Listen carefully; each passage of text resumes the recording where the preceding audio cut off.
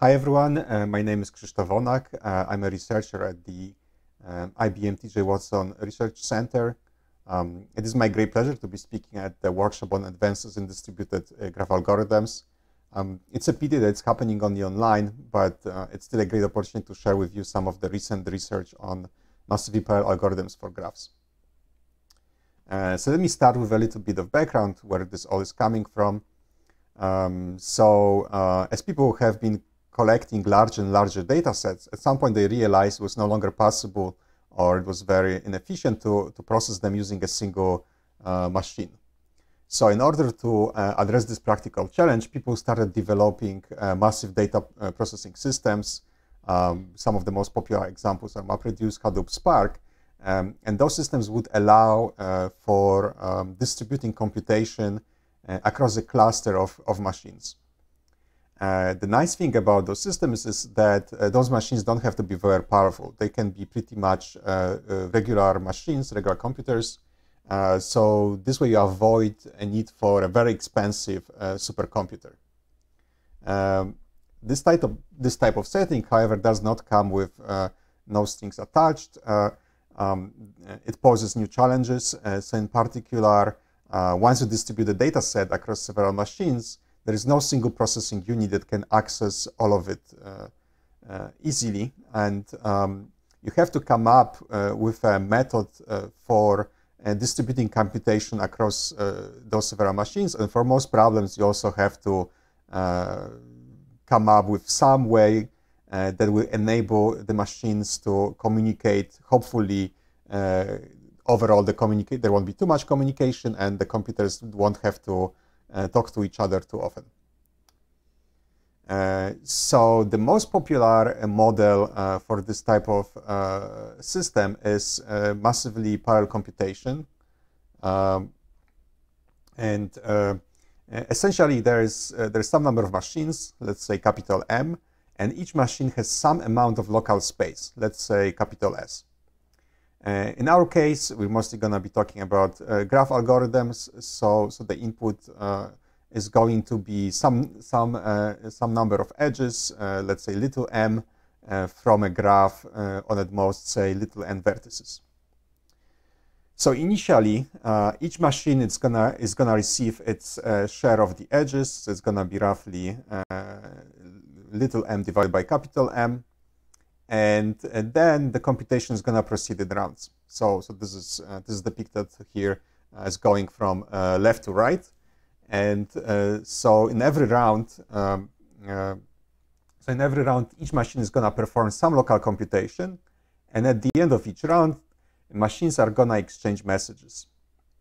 Uh, so the only limitation, so any machine can send a message to another machine, and the only limitation is uh, that uh, machines, uh, each machine can almost send, can send and receive at most its local space data. Right? So you can think of this as uh, each machine being required to first commute in memory in its local space, uh, the, the messages it's gonna send, and then uh, each machine storing all the messages it receives before starting processing them. Um, so this model was in, uh, was inspired uh, by MapReduce and uh, was introduced by Karloff, Suri, and Vassilvitskii. Uh, so I'm not going to go here into details of uh, how MapReduce exactly works and what's the relationship uh, to, to this model. Um, let me just say that this is a pretty, pretty nice theoretical framework that captures some of the most important challenges in, distributing in, in developing um, algorithms for MapReduce. Uh, uh, one essential assumption is uh, that enables um, the design of efficient algorithms is that we can assume that the local space of each machine is at least the input length to some constant greater than zero. Right? In particular, it often makes sense to assume that uh, uh, it, this, space is at least a square root of uh, the input size. so in, in, our case, it's going to be square root of the number of edges. Uh, why is that the case? Well, first of all, uh, the machines overall have to be able to, to store the entire input. Uh, in our case, it's m, the number of little m, the number of edges. And uh, for most machines nowadays, it's easy to, I mean, you, you, you, can assume that they have at least, say, one gigabyte of space.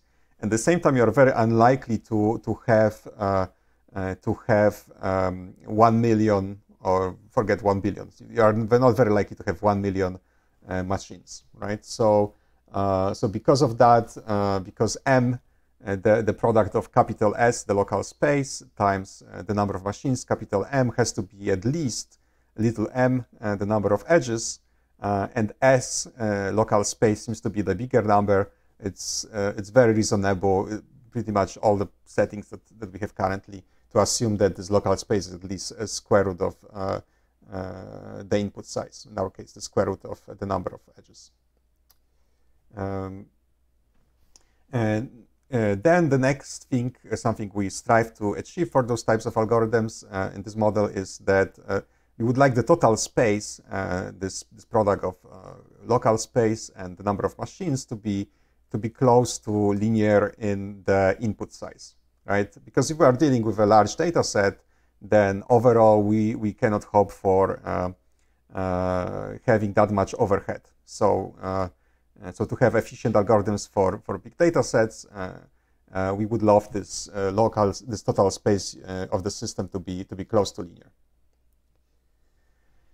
Uh, when it comes to uh, graph algorithms, uh, there are three most popular um, local space regimes um, that people consider usually, and this is like the most useful way of, most convenient way of um, parameterizing how much local space each machine has. Uh, so first of all, there's the superlinear uh, space regime, uh, right? So, so, in this uh, uh, in this regime, um, uh, each machine has the number of vertices to the one plus some constant greater than one local space. Um, you can think of this as uh, being able to store on every machine uh, some non-trivial amount of information about every vertex, for instance. Then there is the near linear memory, uh, the near linear space regime, uh, right? So in this in this regime, uh, uh the total space is the, basically the amount of local space allows for storing still some information about every vertex in the graph, for instance, right? And finally, there is the sublinear um, sublinear space uh, regime. So in this regime, the, the local space is going to be the number of vertices to some alpha, where alpha is uh, you know a number between zero and one, and uh, this is the most interesting uh, setting for for sparse graphs, right? Because uh, it allows uh, for distributing uh, computation even for those very sparse graphs across a large number of machines. Right, and we know that in practice, sparse graphs are often most popular. Like think about things like you know transaction networks, um, social networks, uh, often the degree of a vertex on average is, is relatively small.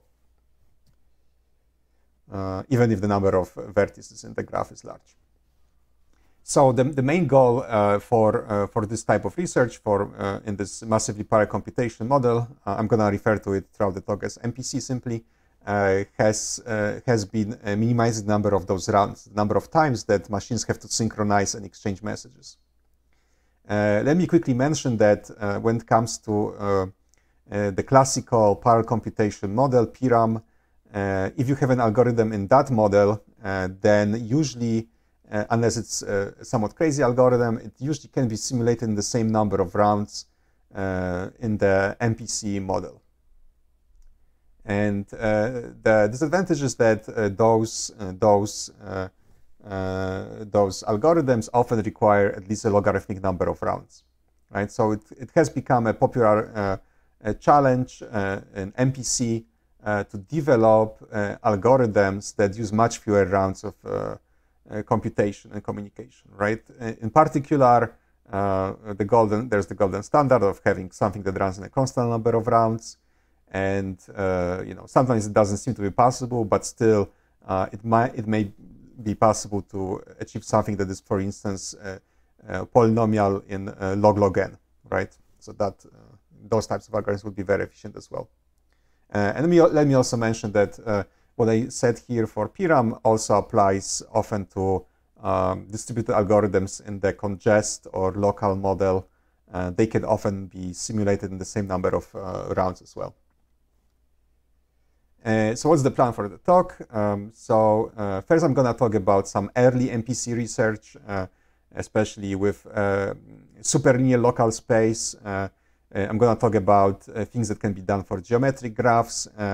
And then I'm going to switch to more recent developments. In particular, I'm going to talk about matchings in near linear and sublinear local space. Um, I'm going to compare the complexity of matching to the problem of uh, computing connectivity of, a, of, a, of, the graph.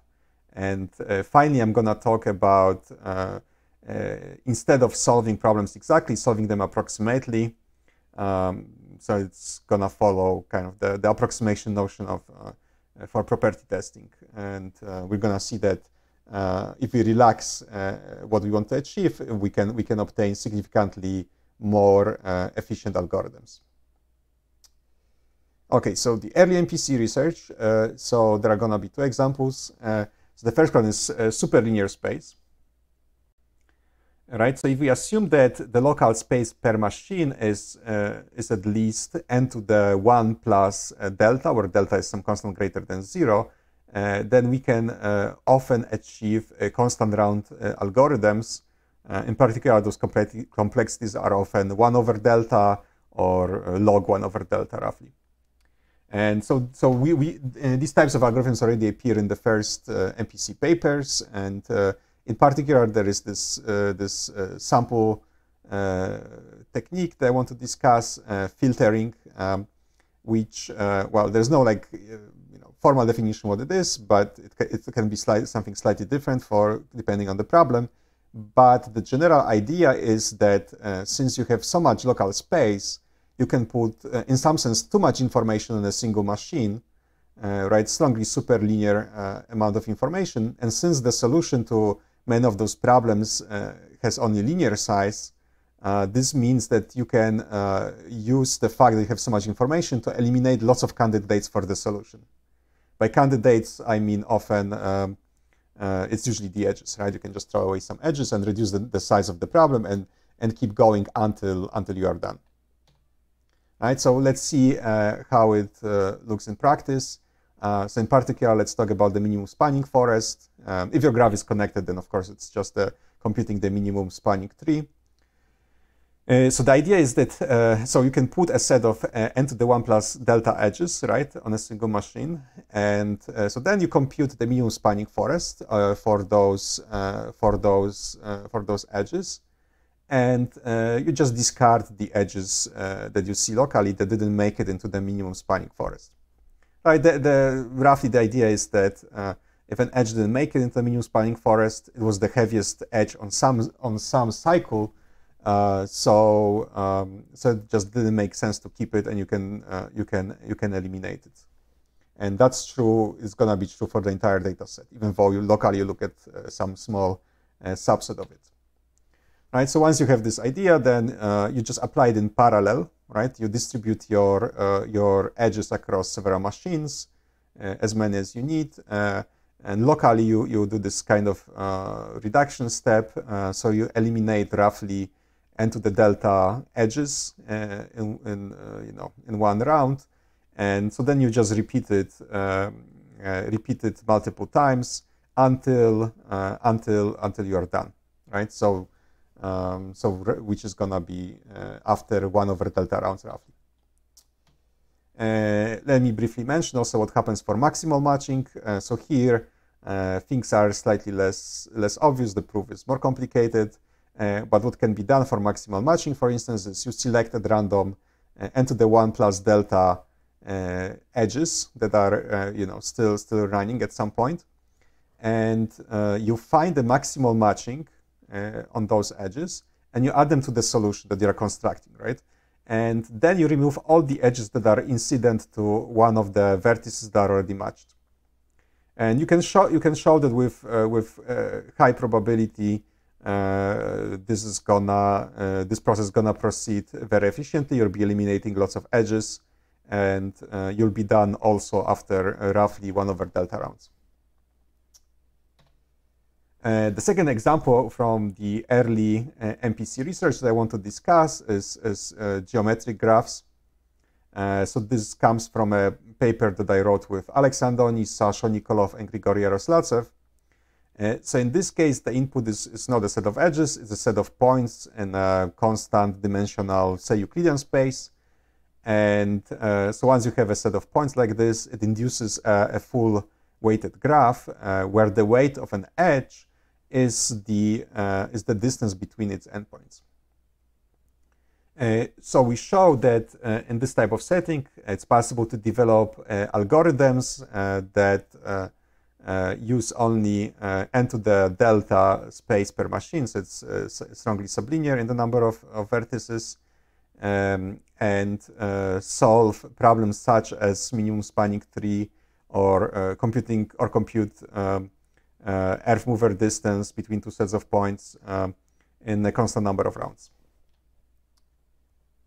Uh, so how, how, how, how, how do we go about it? So I'm not going to go here into details too much, uh, but the basic idea is uh, that you can borrow the well-known technique from that was originally developed for traveling salesman problem, uh, where you randomly partition the, uh, the space by applying a randomly shifted grid. Right, so then you obtain different subcells, you solve, you solve a given problem, some extension of, of, of this given problem, for each subcell, and then you can combine uh, those solutions into solutions for supercells. Right. Uh, so here in the picture, for instance, you can see uh, very briefly what, what happens for the minimum spanning tree. Uh, so for every cell, we we keep uh, we keep uh, some good cover, some some subset of points that is a good covering of all the points within this cell. And we also establish some brief connectivity between those points within this cell. And then when we put a number of those uh, cells together, uh, we keep again some uh, sample from uh, a good covering of, of those points uh, for the supercell. And also we keep connecting uh, the clusters we already had up to some point where we know that this is not, that those local connections won't likely increase the cost, the, the cost of the solution globally by too much. And um, uh, one feature of those algorithms is that it crucially uses uh, uh, either the fact that we have an embedding of the points, right? So we know where the vertices are in space, or at least um, some of these techniques well can be also applied to bounded uh, doubling dimension spaces. Uh, so in that case, uh, you at least know that this is some you know, low dimensional space and something similar to this randomly shifted grid partitioning is possible as well. Uh, so at that point, you know, at this point, uh, so, so these algorithms are very efficient. They use uh, sublin strongly sublinear space uh, per, per machine. Uh, so a very natural question is, you know, after seeing those two examples of early MPC research, to ask what can be done for general graphs, right? By general graphs, I mean you have just sets of edges. Your input is a set of edges. So what can be done for them um, in near linear or sublinear space per machine? right? So this was like a very natural question to ask, especially after this uh, uh, paper um, on uh, geometric graphs. But uh, you know, I back then it seemed impossible to do to do anything meaningful uh, without having uh, some kind of you know embedding to the space that was giving. Introducing some notion of locality and allowing to partition the computation across the mach several machines. So it was very interesting to see that uh, in, over the last few years, uh, a non-trivial number of results uh, was shown. Uh, and in particular, I'm gonna now focus on uh, the problem of uh, approximating the maximum matching in near linear or strongly sublinear space. Right. So what's the goal of the problem? We want to find the set of vertex disjoint edges of maximum cardinality. I'm just gonna focus on getting a constant factor approximation uh, because uh, once you have that, then you can easily get 2 plus epsilon approximation by, by just repeating the algorithm on the set of uh, unmatched vertices.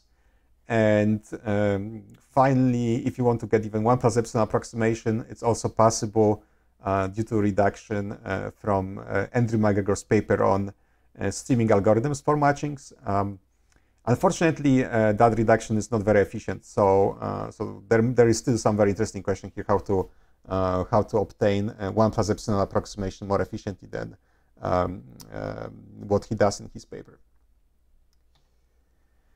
Uh, so what is known for, for matchings? Uh, so first of all, uh, superlinear space per machine, already mentioned that uh, it's possible to obtain constant fact uh, algorithms that run in constant number of rounds.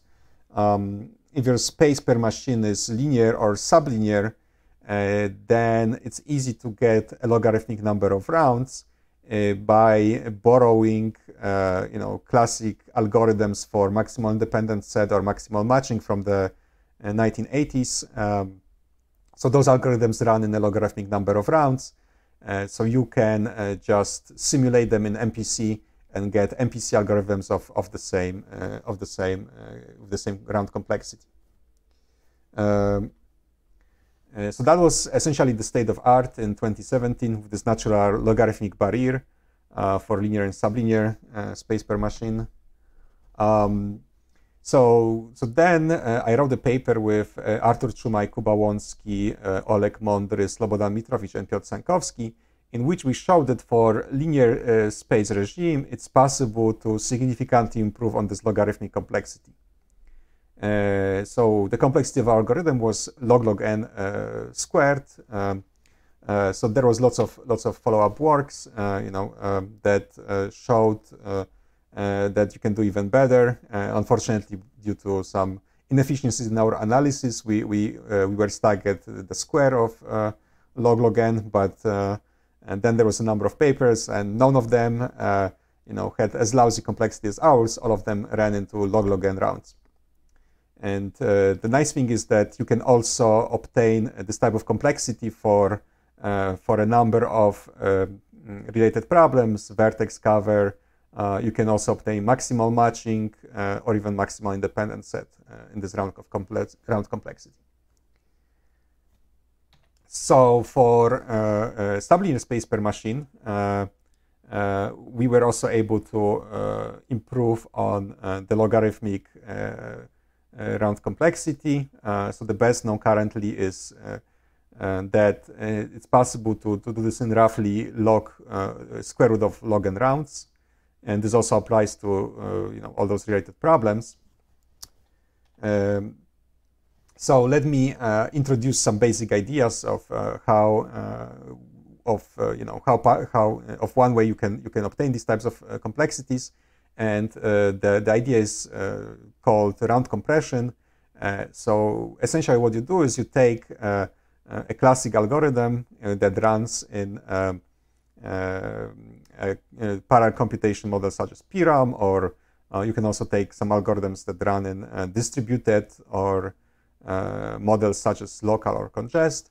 And then you show how to compress several rounds of computation of those algorithms into much fewer rounds of MPC right? So, uh, so for instance, for matching, uh, we can take, uh, you know, it's kind of a folklore fact, but you can look, for instance, at my paper with Ronit Rubinfeld, where we developed, uh, where we used uh, um, uh, an algorithm that finds a constant factor approximation to maximum matching in a logarithmic number of rounds.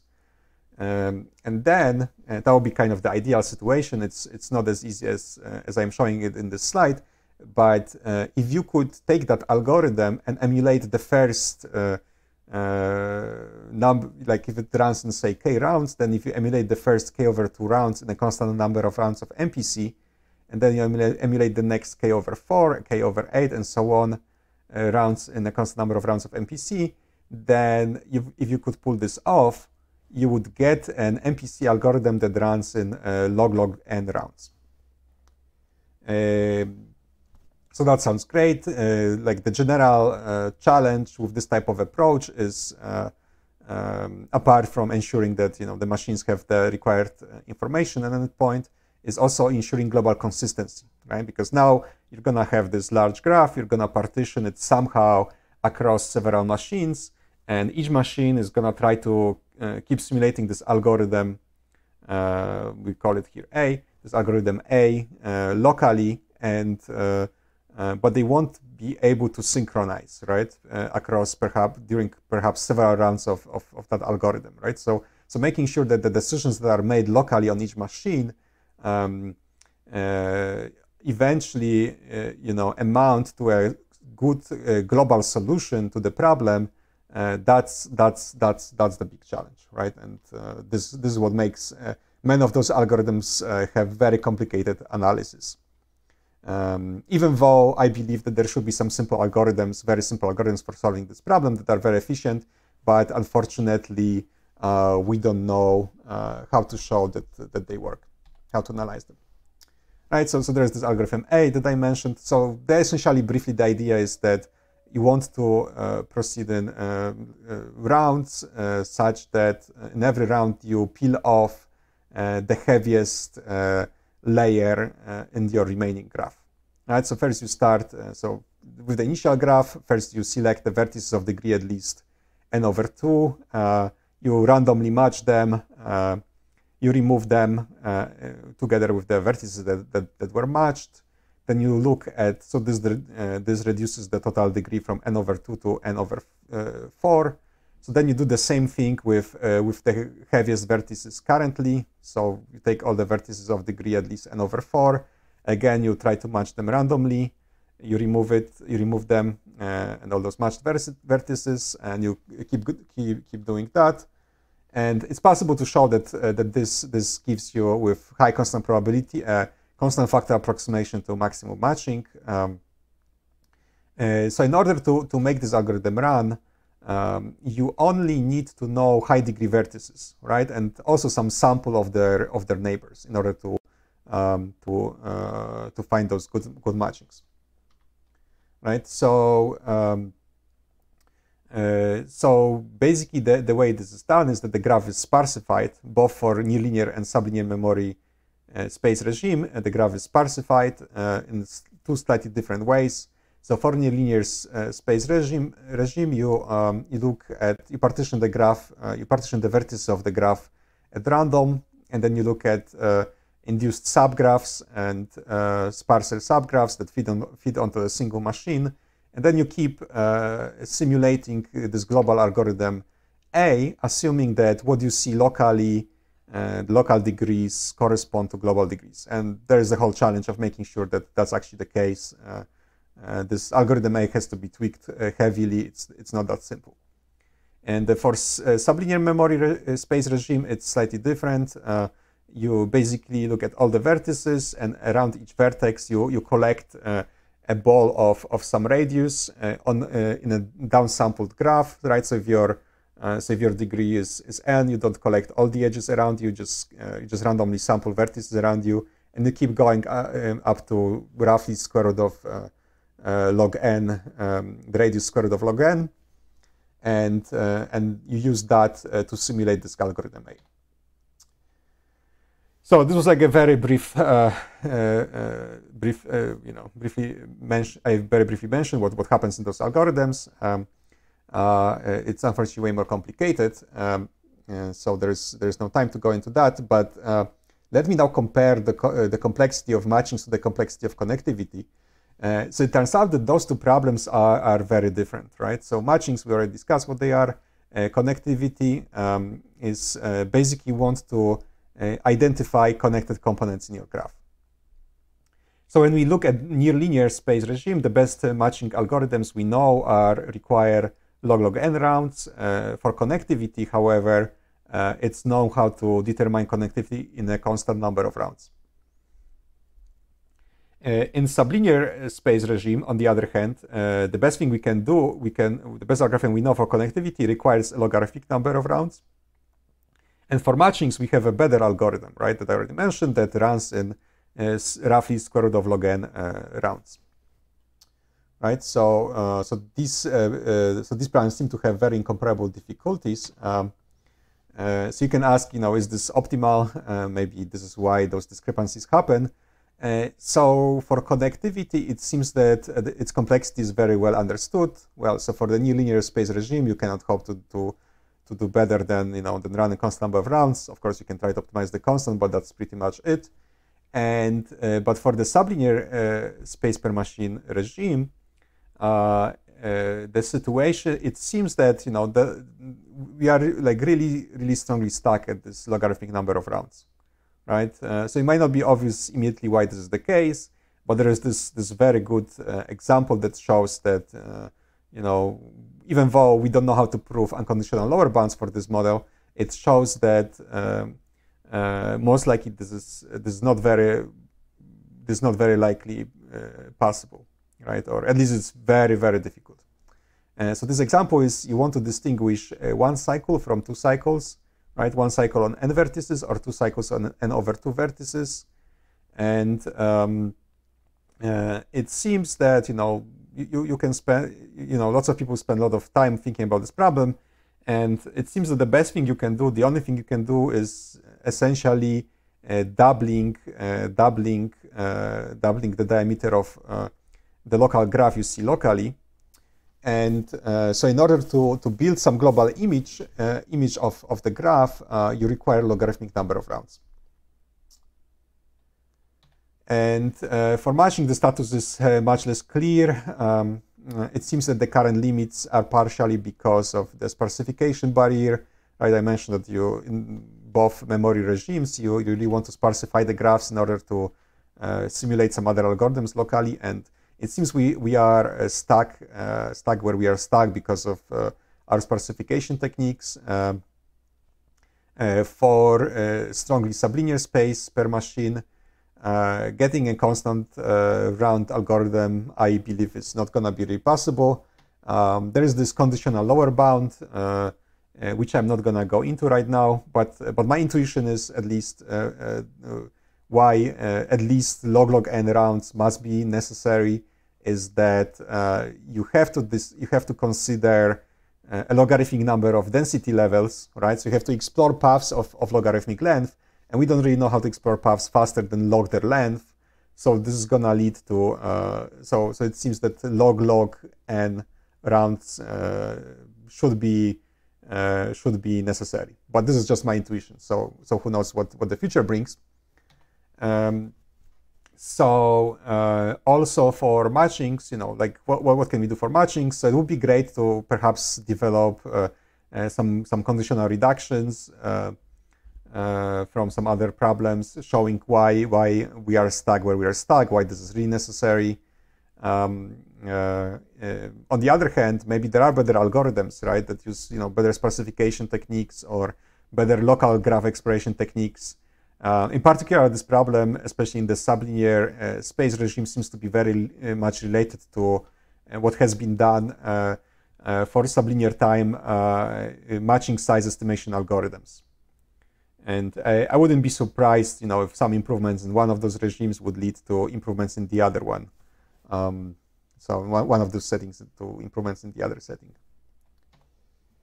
Uh, so now let me move to uh, uh, solving problems approximately in MPC. Um, so, so this the notion of approximation here is inspired by property testing. Uh, so in general, in property testing, uh, you want to distinguish uh, inputs that have a property from inputs that are far, far from the property, right? Uh, by, and by far here usually means uh, you have to modify a constant fraction of edges, uh, like for instance add it or remove it in order to achieve the property. And this is very closely related to uh, the field, uh, the line of research on uh, sublinear time approximation algorithms.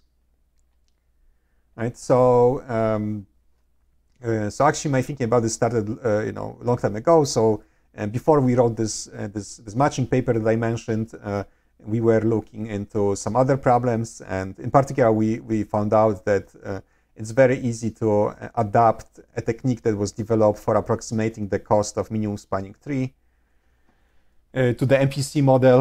Um, so this is a technique that was uh, introduced by Chazelle, Rubinfeld, Trevisan, and uh, um, you know, it's essentially um, uh, sublinear time approximation algorithms. So, uh, so it seemed that you know, like in the end, it only ended up at some slides from some workshops uh, um, in the past uh, because you know we couldn't extend those ideas to any other um, any other uh, settings uh, and other um, property testing problems. Um, so, but eventually, very recently, we were able to do that. Uh, in particular, in the paper with Kuba Łącki, Slobodan Mitrović, and Piotr Sankowski, uh, we introduced uh, useful exploration tools, especially for sparse graphs, by exploration tools, I mean mostly random walks. And so we showed that if you have an undirected graph and sublinear space per machine, then you can generate random walks from all the vertices independently uh, um, in a number of rounds that is logarithmic in the length of the of those random walks. And it, uh, this is also most likely uh, optimal because better algorithms uh, with complexity better than log uh, log uh, the length of the random walk would most likely imply better algorithms for distinguishing this this one cycle versus two cycle that I mentioned a few slides ago. And uh, so how does this work? Well, so how, first of all, how would you uh, attempt to construct an algorithm in this setting, right? So you would, uh, you have a, you have a random walk of specific level to construct. So maybe you could try to uh, build different sections of this random walk independently and then put them together, right? And the problem is that uh, if we have a random walk of length L, then we do not exactly know where we're gonna end up after L over two uh, steps, right? So, uh, so it's really hard to predict uh, uh where uh, this uh, second half of our one random walk should start, right? Like what, what should we what we what we should be doing in parallel while building also the first part of the random walk, right? So for so for um, undirected graphs, fortunately we know there is this very nice stationary distribution uh, the degree of a vertex divided by 2 times the total number of edges.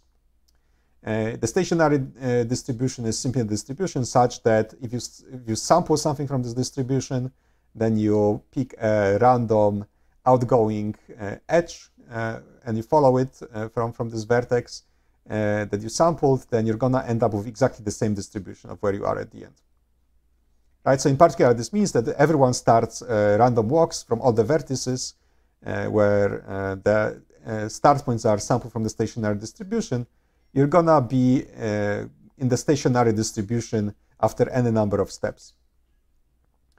Uh, so, so this allows for uh, predicting, you know, what the continuations of the random walks that we start being from scratch from the beginning should be, right? And we uh, we just have to oversample slightly for for each step, slightly more, because uh, there's not to be exactly the stationary distribution, right? We're to diverge from it a little bit, but by sampling a sufficiently large number of random walks, we know that uh, this uh, we're going to be sufficiently close to the stationary distribution.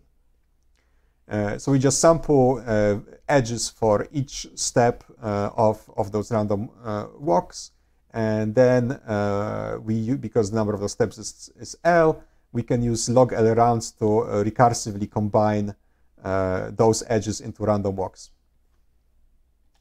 Uh, let me just mention also that we also show how to do this for directed graphs. it's significantly more complicated, and I'm not going to talk, talk about this here. And the complexity is also slightly worse. It's not just log L, it's log L squared plus additional, we have the additional factor, additive term of um, uh, log, uh, log log n squared.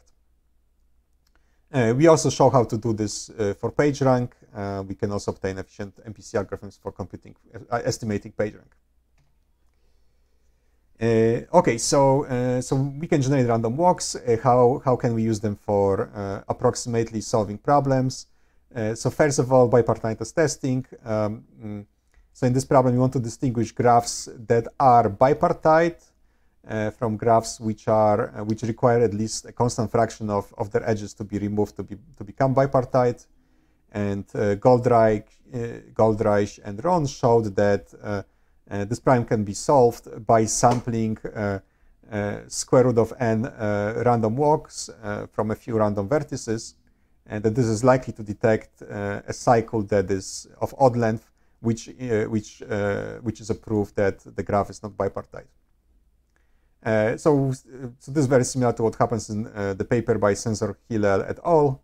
Uh, that I list here above, that you can just as well uh, sample uh, a constant. We, uh, we show and they show that it's, it's just as well, you can just as well sample a constant number of random walks from all the vertices and uh, even though the probability of n of those random walks from a specific vertex colliding is much smaller, then overall you are still very likely to find an odd length cycle if the graph is uh, far from bipartite.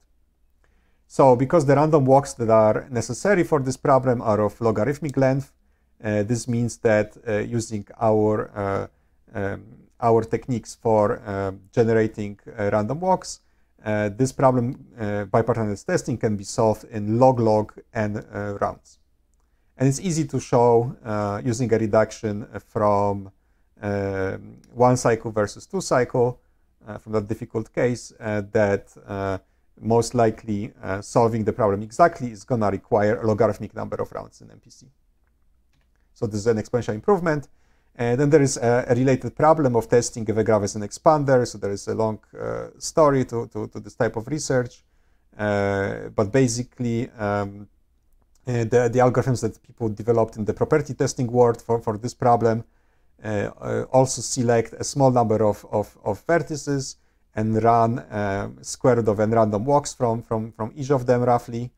And um, here uh, we also show that it's possible to distribute this, uh, this, uh, those random walks across several, uh, several, uh, several vertices, right? Just, just sample a constant number of walks from, from every vertex. And uh, the collision probabilities you get are going to be sufficient to detect that the graph is far from being an expander right? And, and we obtained this by, by tweaking the proof of Czumaj and Sohler. And, you know, once again, because, because of what uh, uh, our subroutine for generating random walks provides, uh, uh which is exactly generating a small number of uh, random walks from every vertex, uh, this allows for solving this allows for solving the problem in log-log n routes as well. Uh, let me also mention a, a, problem for which we do not know how to improve uh, the complexity. Um, so uh, by that much, it's uh, testing if a graph is uh, k clusterable for some small k. Um, so that's the main uh, the main subroutine for for this problem. Um, basically allows for finding out whether two vertices are in the same cluster so, uh, so again, uh, this uh, this is achieved by uh, running square root of n uh, uh, random short random walks from from each vertex, and um, and so if you run much fewer, then you are not very likely to see collisions between those two vertices. And so we can simulate their algorithm in the MPC world, but you have to simulate a square root of n square root of n uh, random walks from each vertex, which can be done by, by simply running in parallel square root of n copies of our algorithm, right? But unfortunately, this adds this additional factor of square root of n to the total space, so this is not very efficient for, uh, this is not going to be very efficient for large graphs, right? And um, uh, so the natural question is, you know, is there a tester with uh, much less uh, total space, right? Can can can this uh, can this uh, can this be achieved with uh, a memory efficient algorithm? Right, and there is a follow-up work by by Peng where he shows how to actually compute clusters, not just you know verify that the, graph is nicely clusterable, and uh, so that's also something that would be nice to be able to do in uh, uh, in the MPC model. Uh, so let me briefly mention, uh, because we're running out of time, future challenges. Uh, so um, this MPC model is very synchronous, and uh, on the system side, there is more and more research on asynchronous systems. Um, uh, so of course, the natural question, the first natural question is, you know, how, how would you model this type of setting? And uh, and then once once you know that, the question is, you know, is it actually even theoretically advantageous to have an asynchronous system, right? Because it's possible that um, it's possible that uh, uh, those systems that, uh, uh that those algorithms that people can generate uh, more efficiently in asynchronous systems, you know, maybe there is a better algorithm, smarter algorithm that that just doesn't need this as asynchronicity, right? It's it's it can just as well be executed efficiently on a synchronous system. Then uh, let me. Then there are those two uh, questions, open questions that I already mentioned. Like first, understanding the complexity of matchings. It's it's a really nice uh, question, and uh, I really like also this this question of testing graph clusterability with low total space. um, without having this perhaps prohibitively large additional factor in total space of square root of n. Um, so that's something that would be very useful for uh, graph clustering. And um, let me just say quickly that there is there is lots of uh, very interesting research happening uh, uh recently uh, for MPC algorithms on graphs. Um, I just list some of those topics above, and uh, unfortunately, there's not much time to go into them into more detail. But I'm looking forward to seeing you at the live session, which is on October uh, 16.